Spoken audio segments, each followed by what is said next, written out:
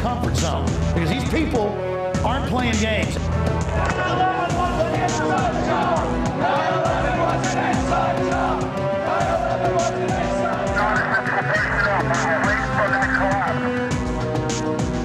We're going to organize. Humanity's going to come together. We are swinging muskets here, toe to toe with the globalists. They're bloodied. We're bloodied. It is absolute total war.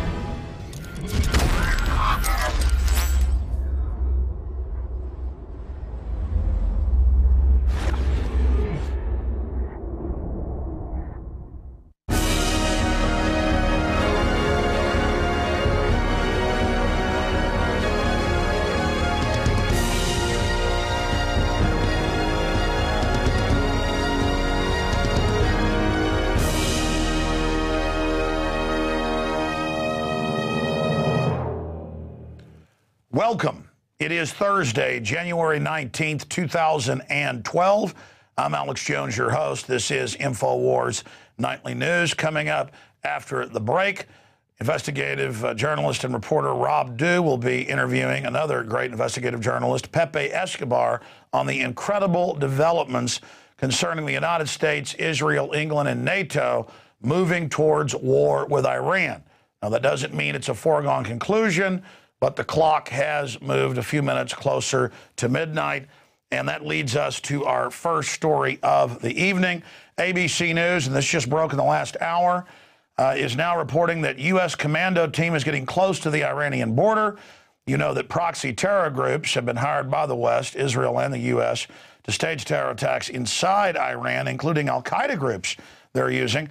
An Army officer speaking on behalf of Special Forces confirmed Thursday that a team of highly trained personnel that excel in uncertain environments are operating near Iran. Uh, Spencer Ackerman uh, just published the scoop on Wired's Danger Room blogs. They actually broke it. The primary day to day mission of the team, known as Joint Special Operations Task Force Gulf Coordinating Council, is to uh, mentor military units belonging to U.S. oil rich Arab allies who collectively are known as the Gulf Coordinating Council. Now, that's the folks they basically used, headed up by Al Qaeda, to invade Libya and they're giving top secret clearance information, uh, of course, uh, on top of it uh, to the Muslim Brotherhood and others. And my point is, I'm told all day that uh, I'm supposed to give up all my liberties and, and, and freedoms because Al Qaeda is going to get me. Uh, but then our own government uh, is running these groups. And it's the same in every case. The underwear bomber on Christmas Day, U.S. government minion, comes out in congressional hearings. Uh, al-Awlaki dining secretly at the Pentagon. Number three in Al Qaeda. Fox News, AP. I mean, it just goes on and on and on. Again, more on Iran coming up with Pepe Escobar and Rob Dew. Let's go ahead and get into the latest on election 2012 and the Republican primaries. But we've got to go back in time to January 3rd where there was almost a statistical dead heat where the uh, three uh, top contenders, that being Mitt Romney in number one, uh, of course, uh, the uh, other little neocon in number two, Santorum, and then Ron Paul number three, just a few votes behind. And there were all these reports on local news confirming that in all these precincts that were pro Ron Paul, just no votes got counted. They just disappeared. Of course, you, you're supposed to call them in from the caucus, but They'd put them in trucks and they'd disappear. And the Republicans counted it at a secret location. We played the clip of Karl Rove saying, well, it was a gentleman's agreement that, that Santorum was second place and Mitt Romney was uh, first. And then really no mention of Ron Paul, who's since come in second in New Hampshire and is rising in the polls. And if the record of Mitt Romney simply comes out like it has on Gingrich or Perry, who dropped out, the Texas governor today, uh, it's over. Ron Paul's in, and the major polls show he'll destroy, like no other Republican candidate, Barack Obama. So Ron Paul is this close if the establishment, corporate whore media, wouldn't engage in all this fraud and lies and deceit and blackballing and blacking out of the congressman. But there's new developments. In front of everyone today, they announced, you know what? A bunch of ballots didn't get counted at a bunch of different uh, precincts around the state. And the uh, major uh, newspapers in the area, like the Des Moines Register, didn't even mention Ron Paul in third. And uh, they continued in the news by saying, well, uh, the uh, election's unresolved, but It doesn't matter. We're just going to say it's Santorum, and we're just going to say that it's uh, now Mitt Romney in second, and just forget Ron Paul, and we'll do whatever we want with the delegates. We're not going to tell you right now, but that's just the way it is. So, so now when there's fraud and they admit the election doesn't even count, they don't even get into the fraud part. It's just forget about it, go back to sleep. That's the way it is. Continuing here, uh, Gingrich scandal could hand Ron Paul. Um, a shock second place finish in South Carolina. What we've already known is uh, now coming out on ABC News. Uh, one of the ex-wives, one of the, I guess, many ex-wives of uh, Newt Gingrich, uh, the uh, globalist minion. Which one is the man and which one is the woman there? I think one of them is a woman posing as a man. When a man poses as a woman, it's called drag. What is it when a woman poses as a man? It's like that character on um, the character on um, Saturday Night Live Pat. That's an aging Pat. I've, I've, decided that maybe that's an aging Janet Reno. Is actually, I don't mean to be mean. I'm sorry. A little bit of comic gallows humor here. To be serious, she, they think she's dying of cancer at the time. Gingrich goes in, says, I'm divorcing you, and then go, uh, goes and tells uh, his uh, staff members who were on record that, well, she's too old and has cancer. I've got to have a hottie uh, to sell myself to the public. And, and what was that do? Oh, okay. This one had MS and he left her. The other one had the cancer. Okay, I'm sorry. You know, the point is, the point is, don't don't don't get ill and don't need any help and death do us part, uh, or uh, or a nudie nudie will basically catapult you out of his life. But he's a frugal man. That's why he has six hundred thousand dollar a month uh, accounts at uh, different uh, jewelry shops for his new trophy wife. I mean, what vapid, impy, uh, empty. That's a new word. Empty uh, globalists these people are. Remember, it is teleprompter free news. I want you to remember that. Okay, continuing here. Massive opposition research file on Romney hits internet, likely from the 2008 McCain campaign.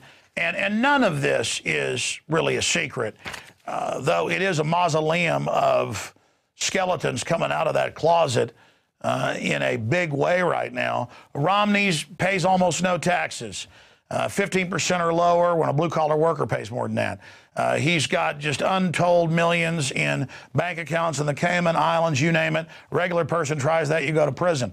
But who do they just hire to report to replace the mob boss Daley for Obama as his head economic advisor? They hired the other head of Bain Capital, which Romney still owns part of. I mean, it, it's all one big, happy, disgusting family uh, with these people. And uh, now uh, here's another report out of the opposition file. Romney parks millions in Cayman Islands. Uh, so there you have it. Uh, continuing here, uh, shifting gears into the SOPA bill. Um, Lord Obama has gotten a lot of money from Hollywood, obviously, who supported hijacking the internet, banning free speech, getting rid of due process, letting them shut down any site they want as a big government excuse for censorship. And so now Hollywood uh, is uh, saying, well, we're not going to support you financially because Obama saw which way the wind was blowing and said he would not support SOPA now. Uh, the problem is he said he wouldn't sign the NDAA and did. He just knows Congress can't pass it right now. So it's all theater, and it's theater out of Hollywood. I mean, not that you would see theater out of Hollywood. I mean, no, they're not involved in theater, thespian, vaudevillian uh, BSing, but uh, there you have it. Conspiracy theory. I mean, Hollywood involved in theater. I apologize. Okay, uh, let's continue here. Karl Rove wrote that last line. We actually have teleprompters everywhere in here. Uh, speaking of globalist rats stabbing each other in the back, uh, quoted in the Deadline Hollywood article, uh, globalist Rupert Murdoch is quoted as saying, So Obama has thrown in his lot with Silicon Valley paymasters who threaten all software uh, creators with piracy, plain thievery, uh, which is actually true. So I guess Rupert Murdoch does occasionally uh, tell the truth. Now, shifting gears uh, out of that, UN soldiers from sex abuse video freed in Haiti. This is standard fare for the UN everywhere they go. UN soldiers are the most vicious war crimes committing military I've ever uh, seen in modern history. Uh, but that's what the local Haitians have basically put up. That's an actual photo or a composite of photos of Haitians protesting. Over a year ago, the Haitians said They're bringing diseases here like cholera and other things that we've never had, polio. The UN soldiers are bringing it, and we think it's on purpose because it's spreading in all the camps that they run. There's a lot of other aid camps run by other groups, private groups, no problems. It's in the UN camps, and they're abusing us. And the Western media said that's a conspiracy theory. You know, these Haitians ju- just don't appreciate all the wonderful help they've been given. Well, now it's admitted the raping, the killing, the torturing, and that, yes, major studies are out. The, the main diseases have been brought in by the UN rape keepers. You've heard of oath keepers, these are child rape keepers. And they've now been released, even though there's videos of them raping children, teenagers, men, uh, you name it. They have an insatiable appetite. And so I thought that I would uh, uh, show you a few news articles here from just the last few years. Just type into the search engine, the NSA globalist search engine, Google, or whatever you use, UN uh, sex crimes, UN sex slavery, uh, child kidnapping, UN, and you'll see their exploits. I mean, they get caught routinely and never get in trouble. Here's London Independent UN shame over sex scandal. And it just breaks down how all over the world, everywhere they go, the public just runs in abject fear uh, because they don't just rape you or kill you or roast you over open flames. There's photos of that. You think I'm joking? Just type in UN peacekeepers roast children. You'll. I'm not going to show it here, but you can look at it if you want. Uh, they didn't get in trouble for that either. Uh, in that case, it was Belgian peacekeepers roasting uh, Somali children. Uh, here's another one. A second Russian firm punishes staffer for sex abuse on UN work. There's Reuters. Here's another one. Peacekeeper sex scandals linger on screen and off. That's the New York Times. Here's a key uh, Chicago Tribune article from 2005 because this was accompanied by congressional hearings. UN stalls on human trafficking. Pentagon has yet to ban contractors from using forced labor. And if you actually watch these congressional hearings,